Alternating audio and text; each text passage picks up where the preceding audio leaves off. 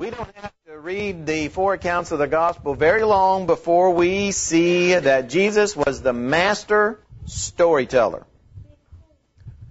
On the occasion that we're going to look at this morning, there was a multitude of thousands and they were gathered and there was a man in the crowd that told Jesus to tell his brother to divide the inheritance with him. And in Luke chapter 12, this is Jesus' response to that man's demand.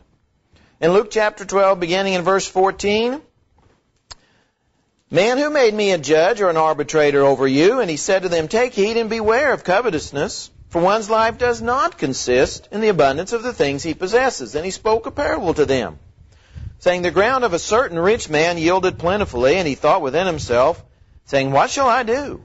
Since I have no room to store my crops. So he said, I'll do this. I will pull down my barns and build greater, and there I'll store all my crops and my goods, and I'll say to my soul, So you have many goods laid up for many years. Take your ease, eat, drink, and be merry. But God said to him, Fool, this night your soul will be required of you. Then whose will those things be which you've provided? So is he who lays up treasure for himself and is not rich toward God. Greed or covetousness is the desire for the wrong things. It's the desire to gain worldly possessions for their own sake, not to help others. Paul told Timothy to warn the people that he was with about the same danger. In 1 Timothy chapter 6, Paul leaves these instructions to Timothy to tell those that he would be preaching to. In 1 Timothy chapter 6, verse 9, Paul says this, But those who desire to be rich fall into temptation and a snare into many foolish and harmful lusts, which drown men in destruction and perdition. For the love of money is a root of all kinds of evil, for which some have strayed from the faith in their greediness and pierced themselves through with many sorrows. There was nothing wrong with the possession of wealth. It was the wrong use of it that Jesus is here condemning. Wealth and possessions can lead one away from God and into ruin. And therein lies the danger. The wise man in Proverbs 15, verse 27, talks about the danger of greed. In Proverbs 15, verse 27, the wise man said, He who is greedy for gain troubles his own house but he who hates bribes will live. Greedy for gain. This is a person that covets gain. And it's just for himself. See, greed is all about yourself. It's not about the desire to have more, to help more. It's a desire to have more for yourself. And Jesus condemns it. Paul condemns it. James condemns it. In James chapter 5, beginning in verse 1, James gives this warning about greed and covetousness. Come now, you rich, weep and howl for your miseries that are coming upon you. Your riches are corrupted, and your garments are moth-eaten. Your gold and silver are corroded, and their corrosion will be a witness against you, and will eat your flesh like fire. You have heaped up treasure in the last days. Indeed, the, the wages of the laborers who mowed your fields, which you kept back by fraud, cry out, and the cries of the reapers have reached the ears of the Lord of Sabaoth. You've lived on the earth in pleasure and luxury. You fatten your hearts as in a day of slaughter. You have condemned, you have murdered the just. He does not resist you. There's the one again who's only concerned about fattening his own heart. So it's not about gaining more, but it's about gaining more for yourself. Selfishness therein is, is the real root of the problem for what Jesus is talking about, for what Paul is talking about, what James is talking about. Selfishness. Thinking about yourself and not others. The Bible records example after example after example of people who were led astray by their greed, by their covetousness. Back in Joshua chapter 6, this of course is talking about the time in Israel's history when they are uh, conquering Canaan. And in one of the first places they go, we read about this in Joshua chapter 6, and we'll begin reading in about verse 15. Joshua chapter 6, verse 15.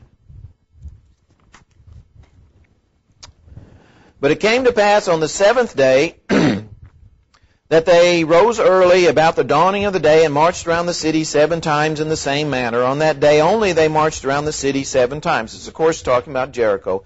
And the seventh time it happened when the priests blew the trumpets, Joshua said to the people, Shout, for the Lord has given you the city. Now the city shall be doomed by the Lord to destruction, in it and all who are in it. Only Rahab the harlot shall live.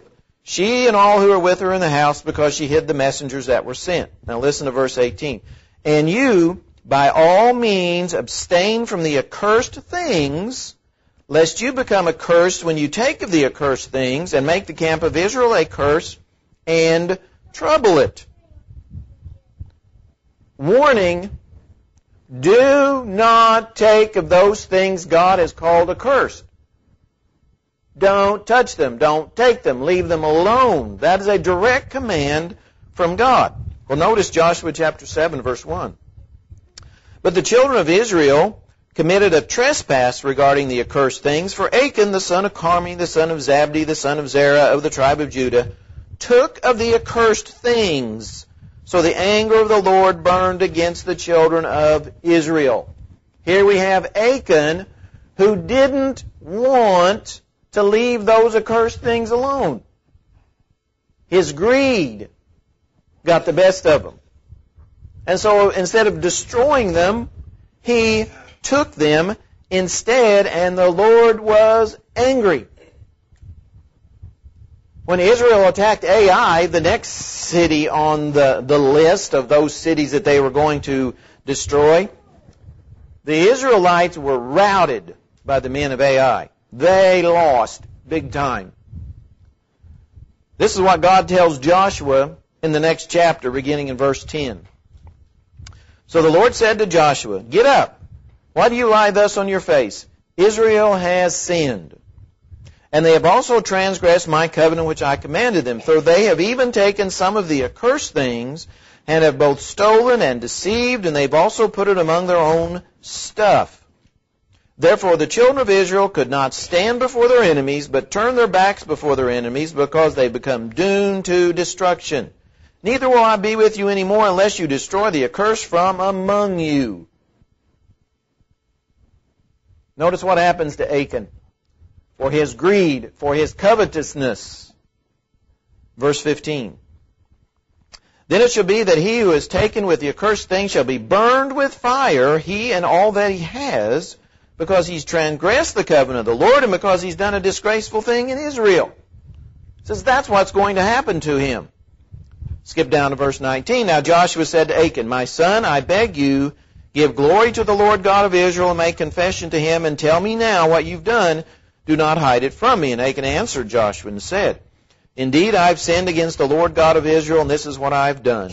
When I saw among the spoils a beautiful Babylonian garment, 200 shekels of silver, and a wedge of gold weighing, weighing 50 shekels, I coveted them and took them.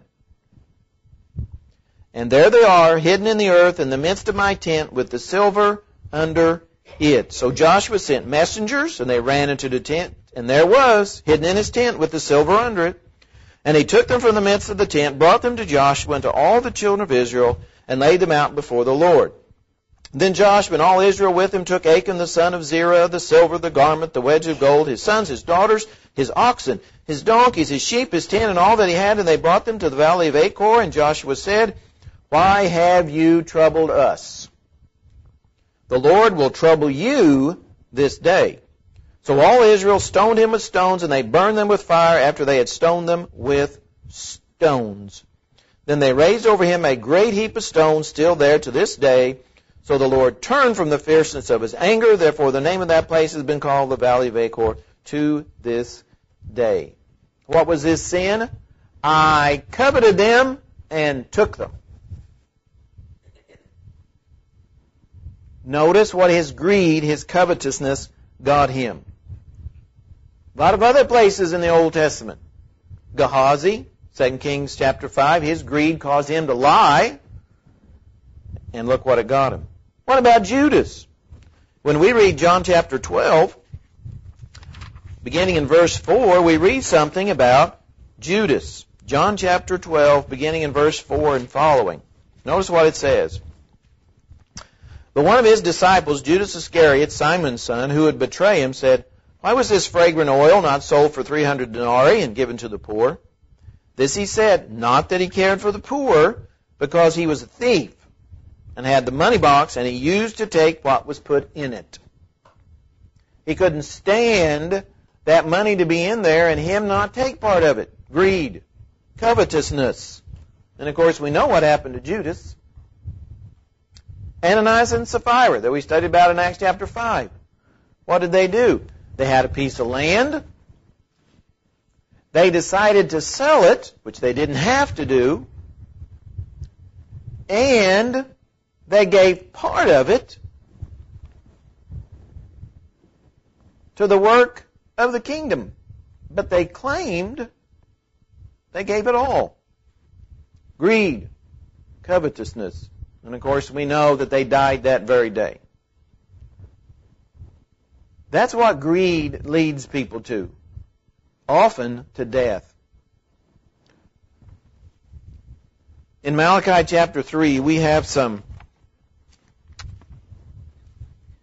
advice, I guess is what we would call it. Maybe we might call it warnings of what greed can do. Malachi chapter 3,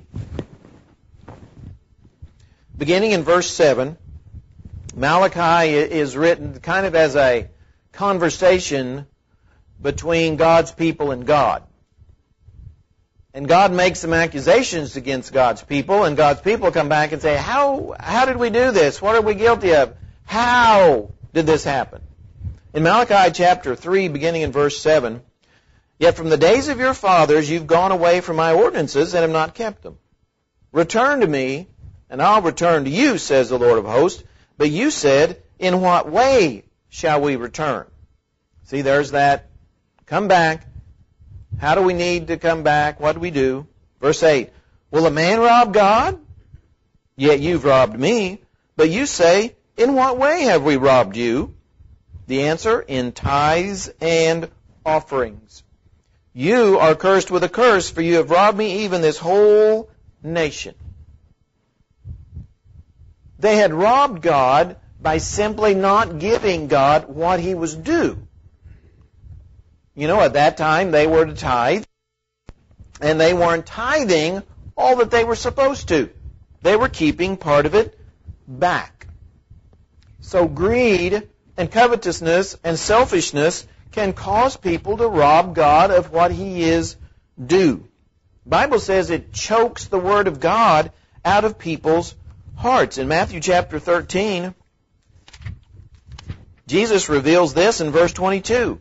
Of course, this is about the parable of the sower.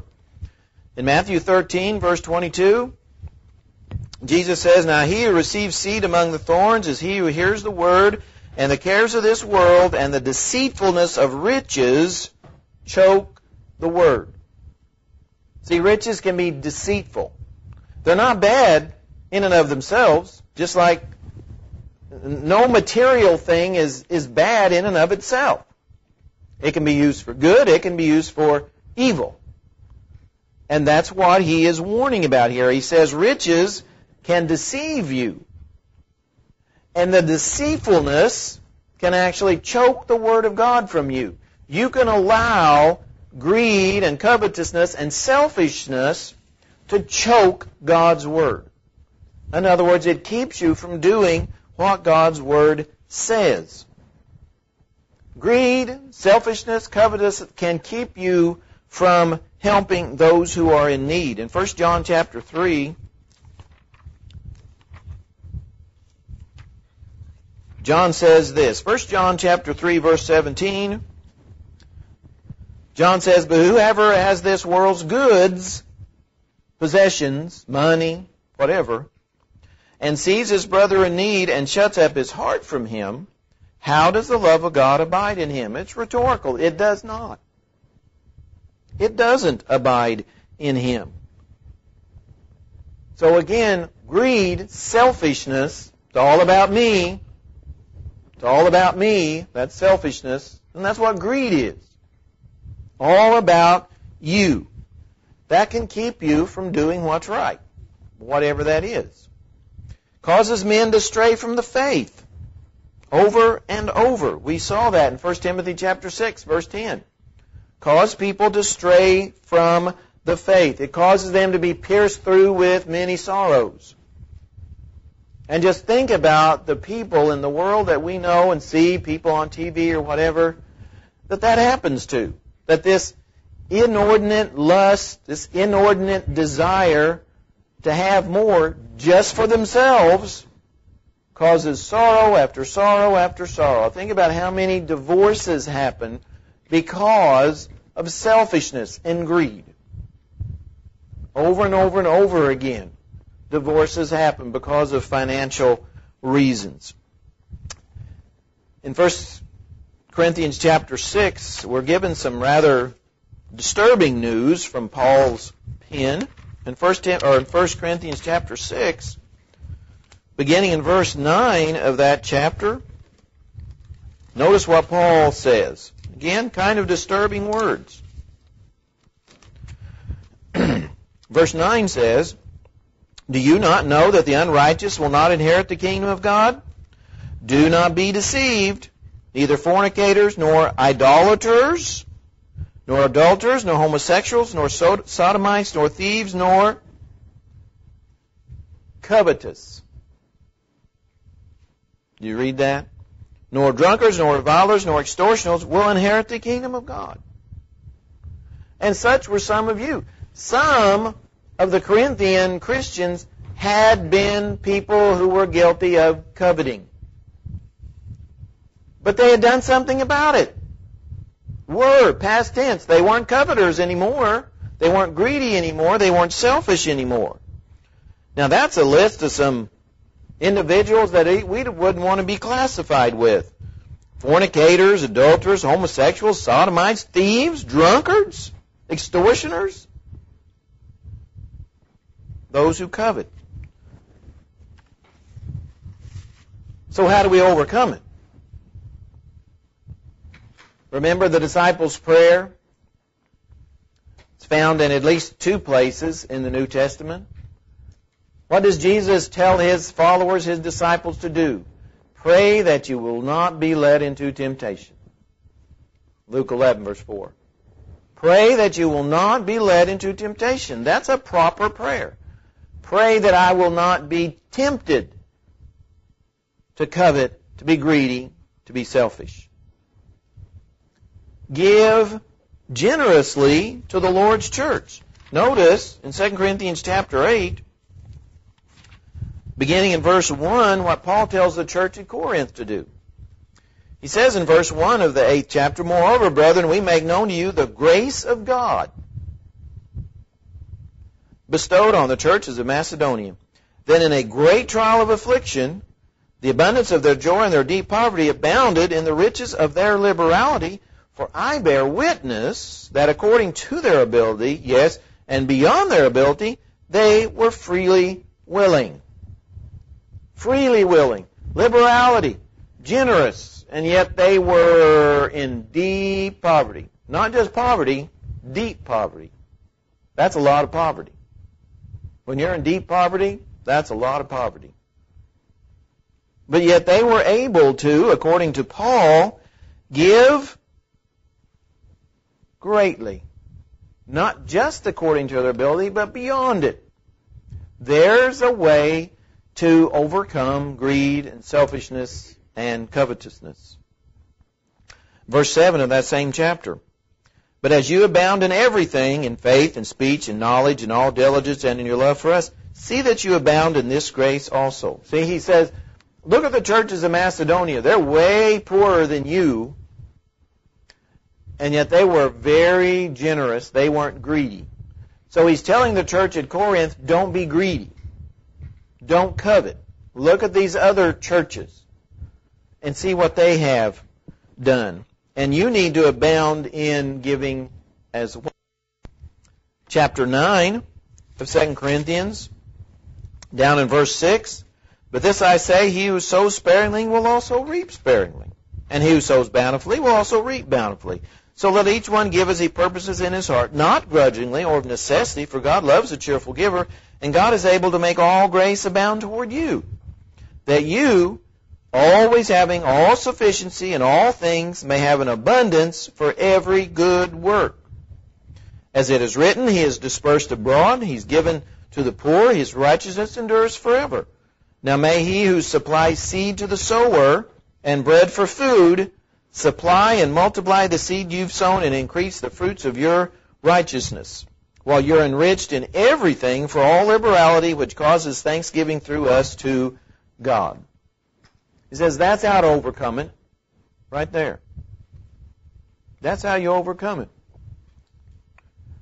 As Paul says, I've learned to be content in whatever state I'm in, whether it's if I'm rich, I can be content with that. If I'm poor, I can be content with that.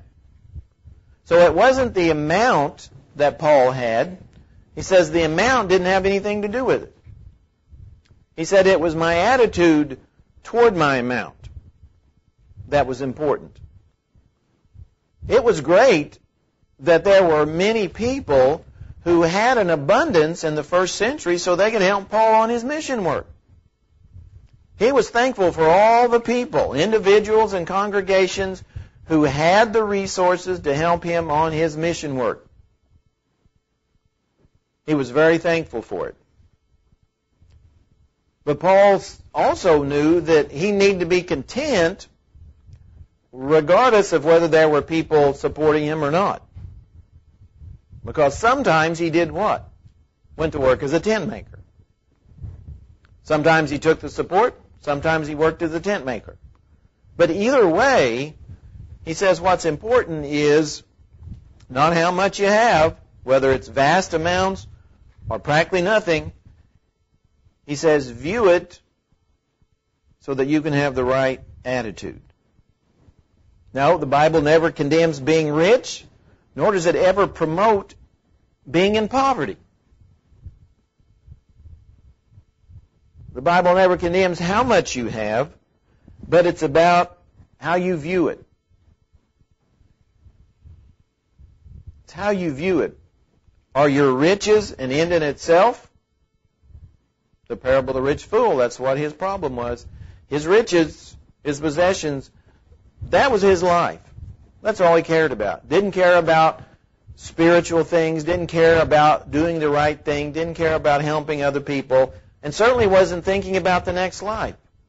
See, that was his problem. His riches and possessions, they were an end in itself. That's all he was concerned about. Said what he should have been concerned about is doing something good with them. The more riches, the better if you're going to do something good with them. Because he says this is how one is rich toward God, helping other people. And that's how he ended that parable. You want to be rich toward God, remember that it's not how much you have, it's what you do with it. It's what you do with it. That's what's important. It's kind of like what we do with God's Word. We have it, it's a great possession, but we have to use it. We have to use it. We have to open it. We have to study it. We have to learn from it. We have to put it into our lives, and then it becomes even more valuable. But if we never open it, it's never going to help us be rich toward God. Whether it's about becoming a, Christian, you know, having our sins washed away in baptism, or if it's about uh, continuing to confess our wrongs or whatever, we must open God's Word and use it. What are we doing with God's Word? So this morning, David's chosen an invitation song to help us think about our lives. And if there is a need, to respond to that invitation. Let us stand and sing this song.